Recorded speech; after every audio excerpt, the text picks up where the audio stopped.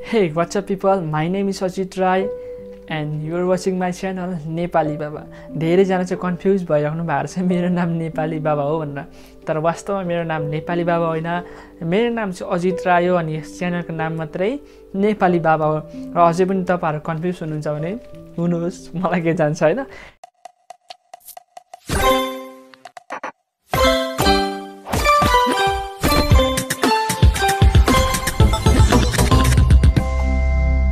ठिकै छ।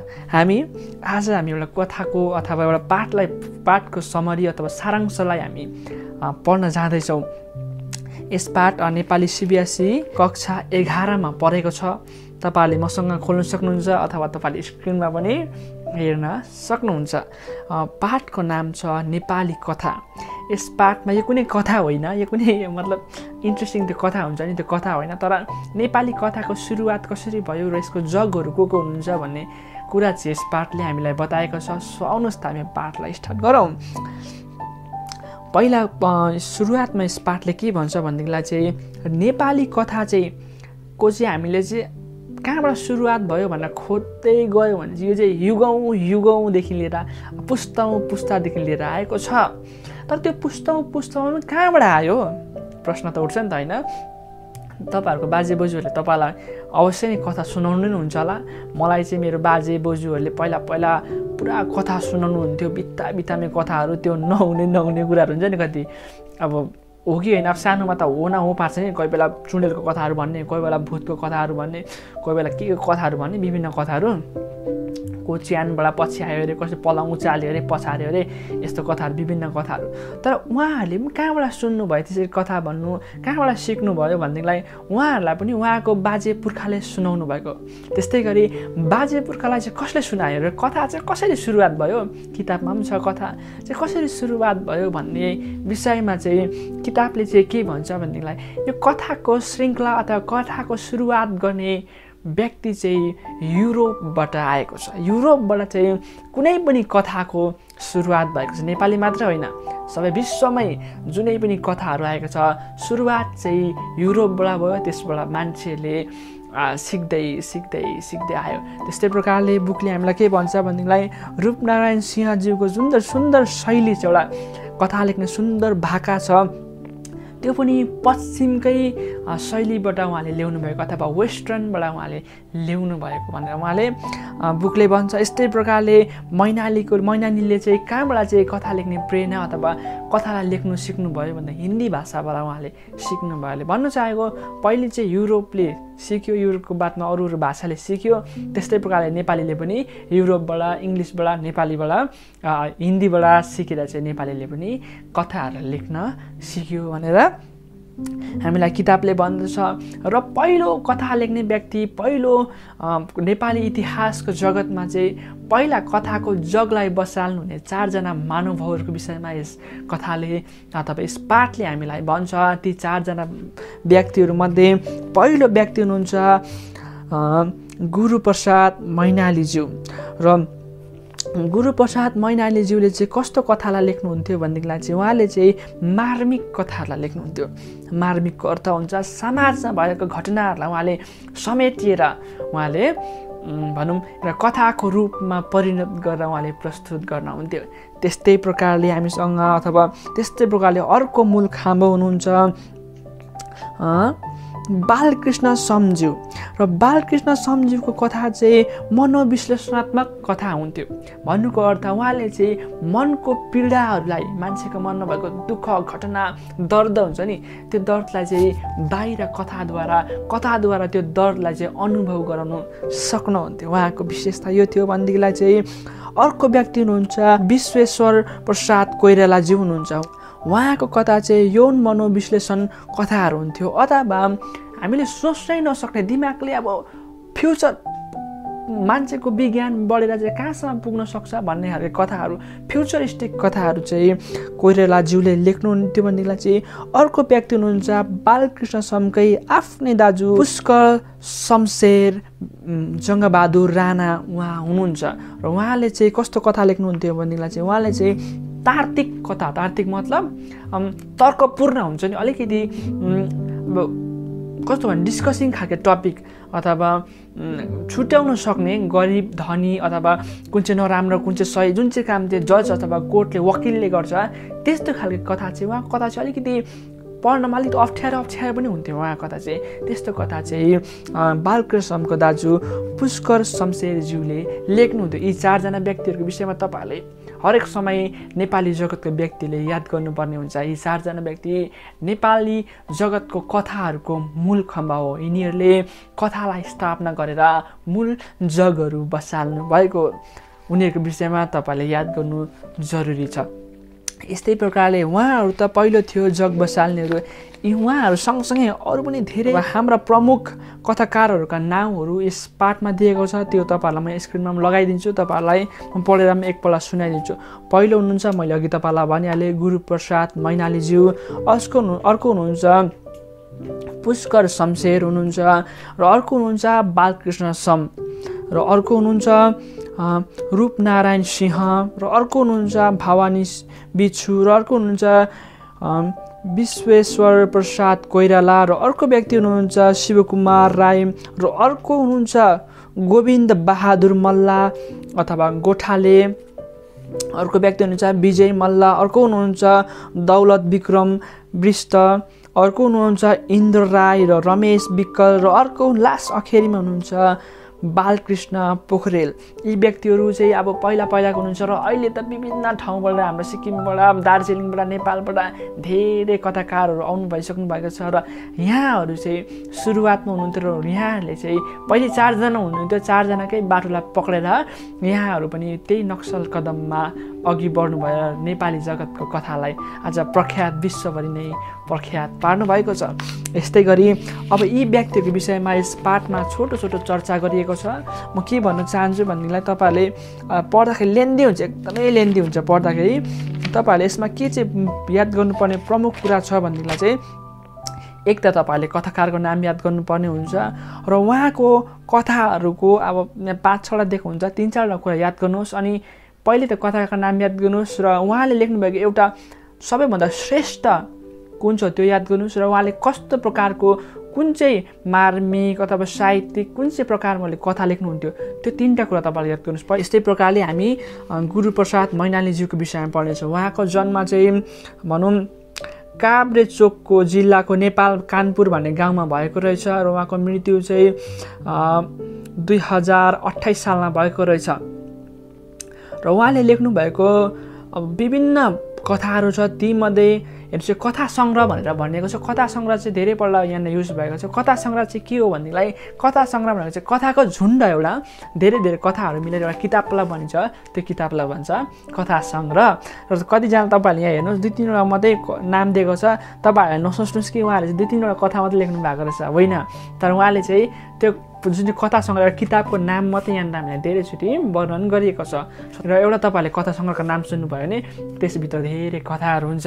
त्यो कुरा बुझ्नुहोस् तपाईँहरूले।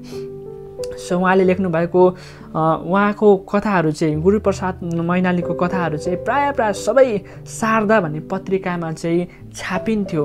र यस्तै गरी उहाँको कथाहरूमध्ये नासो परालको आगो छिमेकी विदा र साहिद प्रसिद्ध छन्। उहाँको कथाहरूमध्ये यी कथाहरू चाहिँ एकदमै प्रसिद्ध कथाहरू छन्। र हामीलाई सबैलाई थाहा भएको कुरा उहाँले चाहिँ मैले तपाईँलाई भने गुरुप्रसाद मैनालीज्यूले चाहिँ एकदम मार्मिक कथाहरूलाई लेख्नुहुन्थ्यो भनेर तपाईँलाई मैले पहिले अगाडि नै भनिहालेँ। र उहाँले लेख्नुभएको कथामा चाहिँ के के छ भनेदेखि तपाईँलाई थाहा छ। परालको आगोमा के छ भनेदेखिलाई चाहिँ एकदम बुढाबुढीको झगडा पत्नी र लोक्नेको झगडा चाहिँ एउटा सानो परालमा आगो लागेको जस्तै हो। आगो लाग्छ सट्टै निप्छ त्यस्तै प्रकारले झगडा पनि सानो समय हुन्छ र छट्टै झगडा निप्छ। त्यसै कारणले गर्दा बिचमा कोही पर्नु हुँदैन भनेर भन्नुहुन्छ। दोस्रो कथामा छिमेकीमा चाहिँ कस्तो छ भनेदेखिलाई छिमेकी भएपछि कस्तो हुनुपर्छ भन्ने कुराहरू लेखिएको छ। र अर्को व्यक्ति हुनुहुन्छ पुष्कर शमशेर बालकृष्ण समको आफ्नै दाजु हुनुहुन्छ उहाँ चाहिँ हेर्नुहोस् है। त्यो चारजना जगमध्ये दुईजना त दाजुभाइ हुनुहुन्छ र अरूजना दुईजना व्यक्ति हुनुहुन्छ। यस्तै प्रकारले दाजु बालकृष्ण समका दाजु उहाँले धेरै कथाहरू लेख्नु भएन अरे। उहाँले एकदमै थोरै कथाहरूलाई लेख्नु भएछ। तीमध्ये उहाँको तीमध्ये छापिएको कथाहरूमध्ये परिबन्ध स्वार्थ त्याग लोग्ने मनको पलट र धनको मुख रातो भन्ने कथाहरू उहाँले लेख्नुभएको रहेछ र उहाँको लेख्ने शैलीहरू एकदमै शुद्ध स्पष्ट र सुन्दर भाषामा उहाँले प्रस्तुत गर्नुहुन्थ्यो। र उहाँको विषयमा भन्नुपर्दा उहाँको सबैभन्दा मतलब सबैभन्दा कथाहरूमा श्रेष्ठ चाहिँ परिबन्ध भन्ने एउटा कथा छ। त्यो कथा चाहिँ एकदमै श्रेष्ठ कथा छ। त्यस कथामा चाहिँ के लेखेको छ भनेदेखिलाई चाहिँ चाहिँ तल्लो दर्गाको मान्छे तल्लो दर्गाको जनतालाई चाहिँ अलिक ठुल्ठुलो पढेको व्यक्ति गाउँमा ठुला ठुला व्यक्तिले चाहिँ कसरी फसाएर चाहिँ दबाएर राखेको छ भन्ने कुरा चाहिँ त्यस परिबन्ध कथामा चाहिँ लेखिएको छ। भनेदेखिलाई हामी अब तेस्रो कथाकारको विषयमा जानेछौँ तेस्रो व्यक्ति हुनुहुन्छ। उहाँकै पुष्कर शमशेरकै भाइ बालकृष्ण सम हुनुहुन्छ। र उहाँले पनि धेरै कथाहरू लेख्नु भएको छ। ती कथाहरूमध्ये पराई घर देउराली तलतल खुकुरी अनि खुकुरी हरिसिद्ध यौवन र सुन्दरता शरण रूपको मूल्य भन्ने विषयहरू उहाँले लेख्नु भएको छ। उहाँले त्यस विषयमा कथाहरू लेख्नुभएको छ र उहाँको चर्चित कथाहरू चाहिँ कुन कुन छ भन्दा धेरै चाहिँ उहाँको चर्चित जस्तै छ रूपको मूल्य। रूपको मूल्यमा तपाईँहरूले याद छ तपाईँलाई मैले भनिहालेँ अघि नै। उहाँले चाहिँ मनको वेदनालाई मनको पीडालाई चाहिँ कथाको कथाको द्वारा प्रस्तुत गर्नुहुन्थ्यो कसरी प्रस्तुत गर्नुहुन्थ्यो? तपाईँले याद छ तपाईँले क्लास टुवेल्भमा गएर पढ्नु भने रूपको मूल्य पढ्न सक्नुहुन्छ। रूपको मूल्यमा एउटा स्त्री हुन्छ बिमारी स्त्री हुन्छ। उसको पीडालाई चाहिँ कसरी चाहिँ मान्छेको अगाडि दर्शाएको छ भन्ने कुरा चाहिँ यस कथामा लेखिएको छ। र म भनिदिउँ तपाईँहरूलाई यी चारजना व्यक्तिहरू जतिजना पनि हुनुहुन्छ यी चारजना व्यक्तिहरूले अब धेरैचोटि चाहिँ त्यो उहाँकै आफ्नै शैलीमा मात्रै लेख्नुभएको छ जस्तै मैले तपाईँलाई भने अघि गुरुप्रसाद मैनालीले मार्मिक खालको कथा लेख्नुहुन्थ्यो तर उहाँले अब जिन्दगीभरि मार्मिक मात्रै चाहिँ लेख्नु भएन। उहाँले धेरैचोटि अब मनोवैज्ञानिक खालको कथा पनि लेख्नुभयो भयो तर उहाँको एउटा शैली चाहिँ त्यस्तो थियो भनेर मात्रै भनिएको यो कुरा तपाईँले बुझ्नुपर्ने हुन्छ। र अर्को व्यक्ति हुनुहुन्छ रूपनारायण सिंह उहाँको जन्म दार्जिलिङमा भएको थियो। र उहाँ चाहिँ भनौँ एउटा गरिब गरिब खानदानमा जन्मेको भएको कारणले गर्दाखेरि उहाँले चाहिँ जीवनलाई चाहिँ मजाले बुझेको थियो। जीवनको दुःखलाई चाहिँ मजाले बुझेको थियो र उहाँको कथाहरूमा चाहिँ जीवनमा भएको दुःखलाई चाहिँ हामीले पढ्दै गर्दा चाहिँ माया लाग्दो अनुभव गर्न सकिन्छ भनेर चाहिँ यसरी भन्नुहुन्छ। र उहाँलाई उहाँको एउटा कथा छापिएको थियो अन्नपूर्ण भन्ने। त्यो कथा चाहिँ नेपाली इतिहासको चाहिँ पहिलो आधुनिक कथा हो भनेर पनि भनिँदो रहेछ। आधुनिक मतलब मोडर्न कथा। जुन चाहिँ कथा चाहिँ पहिलो हो भनेर चाहिँ भनिएको रहेछ। र अर्को कथा चाहिँ उहाँको सबैभन्दा प्रसिद्ध कथा कथा चाहिँ आमा रहेछ। आमा शीर्षक कथा चाहिँ उहाँको सबैभन्दा श्रेष्ठ कथा हो। आमाको शीर्षकमा चाहिँ के छ भनेदेखिलाई चाहिँ राजनीतिक भावुकताले बिग्रने युवक यौवनले उता यौवनले उताउलिने धन युवती र वेदना पचाउने बुढीका बुढी बुढीका मानसिकतालाई छर्लङ्ग पारिएको छ। त्यस कथामा के लिएर छ भने तपाईँले बुझिहाल्नुभयो। त्यस पछाडि अर्को व्यक्ति हुनुहुन्छ भवानी विष्णु र भवानी विष्णुले चाहिँ भवानी विष्णुका गुणकेशरी मैया साहेब र आर्तव शीर्षकका तिन कथा सङ्ग्रहहरू निस्किसकेका छन्। मैले भनिहालेँ कथा सङ्ग्रह यो तिन कथा सङ्ग्रह निस्केको छ त्यस तिन कथा सङ्ग्रहभित्रमा धेरैवटा कथा कथा कथाहरू छन् भनेर चाहिँ भन्नुहुँदैछ। त्यो कथाहरूमध्ये उहाँको कथाहरूको नाम त्यो फेरि फर्कला भन्ने एउटा कथा छ। त्यो कथा चाहिँ एकदमै अब अत्यन्तै जनप्रिय कथा भइदियो। त्यो कथा चाहिँ त्यति बेलाको समयमा सबैलाई मनपर्ने कथा भइदियो। अर्को उहाँ कथाहरूमध्ये अरू पनि छ वन्दना छ सावित्री छ मैया साहेब जस्तो कथा पत्रहरूको साह्रै राम्रो मनोविश्लेषण गरिएको छ। उहाँले त्यस्तो कथाहरूलाई चाहिँ मजाले मनोविश्लेषण गरिदिनु भएको छ अरे। त्यस पछाडि हामीहरू विश्वेश्वर प्रसाद कोइराला उहाँको विषयमा त अघि पनि हामीले छलफल गरेका छौँ। र फेरि पनि हामी उहाँको विषयमा सुन्न जानेछौँ।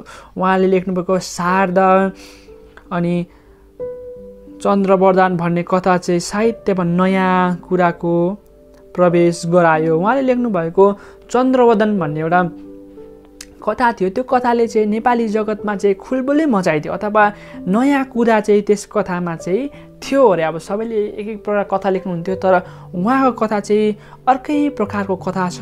जुन चाहिँ कथाले चाहिँ हाम्रो नेपाली कथाहरूमा चाहिँ नयाँ कुरा ल्याइदियो भनेर चाहिँ उहाँ भन्नुहुन्छ। र उहाँको कथाहरूमध्ये विवाह शत्रु सिपाही शारदा र युगवाणी भन्ने कथाहरू पनि छापिएको पुस्तकमा युगवाणी भन्ने कथाहरू पनि छापिसकेको छ।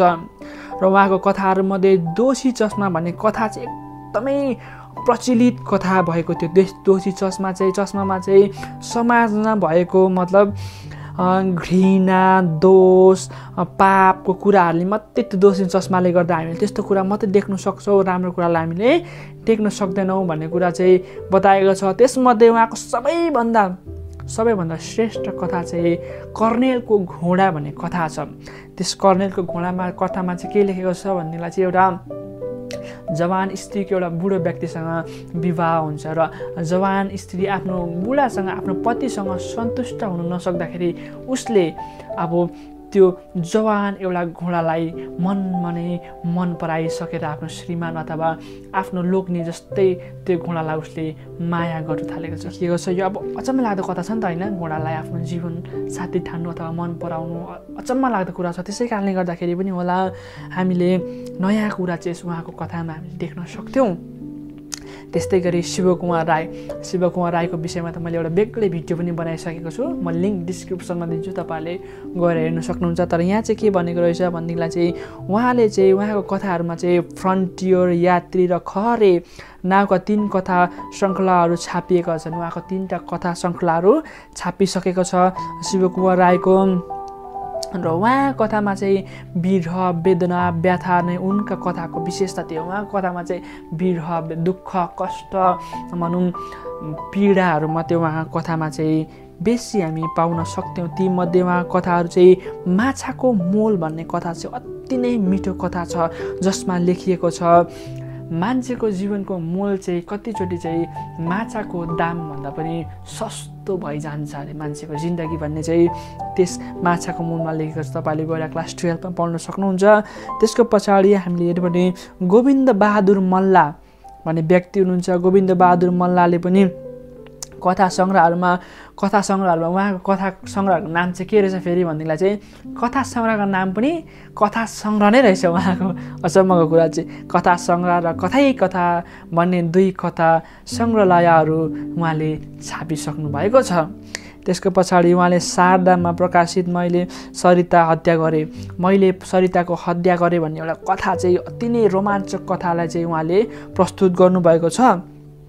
त्यस कथामा चाहिँ के छ भनेदेखिलाई चाहिँ एउटा प्रेमीले एउटा प्रेमिकालाई चाहिँ आफ्नो भनौँ जिज्ञासा प्रकट गर्नु नपाउँदा आफूले चिताएको कुरा हुन नपाउँदाखेरि चाहिँ आफ्नै प्रेमिकालाई चाहिँ घाँटी दबाएर मारेको छ आफ्नो प्रेमीले। यस्तो कथा चाहिँ उहाँले लेख्नुभएको छ। त्यसको पछाडि हामीले आएर हेर्ने विजय मल्ल भन्ने कथाकारको विषयमा चाहिँ के लिएको छ भनेदेखिलाई उहाँले धेरै जस्तो कथा पत्रिकामा छापिएका छन्। उहाँको धेरै कथाहरू चाहिँ पत्रिकामा छापिएका छन्। उहाँको कति उहाँले एउटा कथा एक बाटो अनेक मोड भन्ने कथा लेख लेख्नु भएपछि उहाँलाई चाहिँ त्यही कथाको रूपमा चाहिँ कथा लेख्नुभएको इनाममा चाहिँ साझा पुरस्कारसम्म एउटा चाहिँ महान पुरस्कार हो। त्यो पुरस्कारसम्म चाहिँ उहाँलाई दिएको रहेछ। त्यस पछाडि पनि उहाँले धेरैवटा कथाहरू लेख्नुभयो। उहाँको कथामा ईर्षा घृणा र स्वार्थमाथि विजय पाउनु माथिल्लो श्रेणीको बौद्धिकताको हो र यही कुरा कालो चस्माले देखाउँछ। उहाँको भनाइअनुसार उहाँको कथामा चाहिँ के पाउँछ भनेदेखिलाई चाहिँ लोभ आरिस घृणा चाहिँ मान्छेको कालो चस्मा अथवा मान्छेले नराम्रो नजरले हेऱ्यो भने यी कुरा मात्रै देख्न सक्छ भन्ने विजय मल्लले आफ्नो कथाद्वारा भन्नुहुन्थ्यो भने दौलत विक्रम विष्टले चाहिँ विष्टको विषयमा चाहिँ कम्ती कुरा लेखेको छ। दौलत विक्रम विष्ट मनोविश्लेषणका राम्रा कथा लेख्छन्। भनिहाले तपाईँलाई मनोविश्लेषण मतलब मन दुखेको अरूको मनको भावनाको विषयमा भन्ने खाले कथाहरू चाहिँ उहाँले एकदमै राम्रो कथा लेख्नुहुन्छ अरे। तल्लो वर्गका जनताप्रति हुने शोषण उहाँले लेख्नुहुन्छ अरे तल तल अब मतलब गाउँ समाजमा एकदमै तल हुन्छ नि व्यक्ति अब जातपातमा होचो भएको थिचोमिचोमा अन्यायमा परेको स्त्रीहरूको विषयमा धेरै कथाहरू एकदमै मन छुने कथाहरू लेख्नुहुन्थ्यो ती कथाहरूमध्ये उहाँको कथाहरू छ गालाको लाली प्रदर्शन छाया र घाउका सत्र चक्का भन्ने कथाहरू उहाँले लेखिसक्नु भएको छ। र अब इन्द्रबहादुर राईले पनि इन्द्रबहादुर राईको विषयमा पनि यहाँ चर्चा गरेको छ। इन्द्रबहादुर राईले पनि विपना कविपय भन्ने कथा सङ्ग्रह छापिएको छ उहाँको उहाँले लेख्नुभएको कथा। दार्जिलिङको जीवन अवस्था घटना र समस्यालाई उहाँले आफ्नो कथामा प्रस्तुत गर्नुभएको छ। अब त्यहाँ भएको आयामेई आन्दोलन एउटा आन्दोलन भएको थियो। आन्दोलनमा पनि उहाँले भागलाई लिनुभएको थियो अरे। र उहाँको कथाको विशेषता चाहिँ के थियो भनेदेखिलाई मान्छेको जीवन बाहेक पनि उसको भित्र पनि एउटा जीवन छ। मान्छेले जे देखाउनु खोज्छ त्यो हुँदैन। मान्छेको कालो अन्धकार जीवन पनि हुन्छ। र मान्छेले उहाँको कथामा चाहिँ त्यो कालो जीवन पनि उहाँले समेटेर देखाउनु हुन्थ्यो। मान्छेको हरेकको देखाउने अर्को जीवन र जिउने अर्को समय हुन्छ भन्ने खालको कथा उहाँको थियो। र अर्को कथाकार हुनुहुन्छ रमेश विकल। नयाँ सडकको गीत भन्ने कथा सङ्ग्रहको लागि दुई हजार अठार सालको मदन पुरस्कार पाउने काठमाडौँको रमेश विकलका अरू कथा सङ्ग्रह बिरानो देश तेह्रै रमाइलो कथा। आज फेरि अर्को ते अर्को तेन्द्र फेरिन्छ। एउटा बुढो भैलिन भायोलिन आशावाद आशावरीको धुना। अगेनाको डिलका एक्काइस रमाइला कथाहरू र उर्मिला भाउजू भन्ने उहाँको कथाहरू लेखेको छन्। र उहाँले पनि त्यही अब आर्थिक आर्थिक अवस्थामा अथवा गरिब व्यक्तिहरूको विषयमा अथवा मन दुखेको व्यक्तिहरूको विषयमा उहाँले पनि यौवन वृत्तिबाट अथवा उहाँले चाहिँ सबै व्यक्तिको विषयमा अलिअलि अलिअलि निकालेर लेख्नुहुन्थ्यो। र अर्को हुनुहुन्छ बालकृष्ण पोखरेल। उहाँ बालकृष्ण पोखरेलको सोझाइ र जवाब फुटेको ऐना सुन गाभा र काने खुसी भन्ने कथा सङ्ग्रहालय छापिएका छन्। उहाँको काने खुसी भन्ने सङ्ग्रहालय पनि छापिएका छन्। यस्तै प्रकारले उहाँको लेख्ने शैली एकदमै साधारण र स्पष्टसँग अनि मिठोसँग उहाँले लेख्नुहुन्थ्यो भनेदेखिलाई चाहिँ उहाँले पनि एकदम मनोविश्लेषणात्मक कथाहरू लेख्नुहुन्थ्यो। माया लाग्दो मनको पीडाहरूलाई उहाँले कथामा प्रस्तुत गर्नुहुन्थ्यो। यस्तै प्रकारले अरू पनि धेरै कथाकारहरूका नामहरू यहाँ दिएको छ। तपाईँहरूले त्यस्तो इम्पोर्टेन्ट छैन जस्तै हुन्छ देवकुमारी थापा श्यामकृष्ण श्रेष्ठ धेरै व्यक्ति यस्ता धेरै व्यक्तिहरू छ तपाईँहरूले त्यस्तो इम्पोर्टेन्ट छैन मा चाहिँ विशेष गरी धेरै लेन्दी छ बुझ्न साह्रो हुन्छ। त मैले भनिहालेँ तपाईँलाई एउटा कथाकारको विषयमा तपाईँले उसको कथाहरू एक याद गर्नुहोस्। उसले कस्तो खालको कथा लेख्थ्यो र उसको श्रेष्ठ कथा चाहिँ कुन चाहिँ हो यी कुराहरू तपाईँले लेख्नुहोस्। यसको बादमा म तपाईँहरूलाई स्क्रिनमा क्वेसन्स अनि एन्सर पनि लगाइदिन्छु। तपाईँहरूलाई पढ्न सजिलो होस् भनेर